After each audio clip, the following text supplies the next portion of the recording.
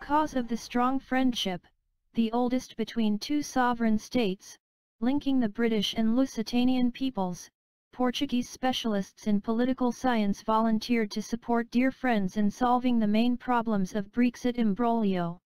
Rockabye baby ah, in the treetop. Both will have already agreed a date to meet, and a secret location, which indicates everything will be in the residence of some cousins in common.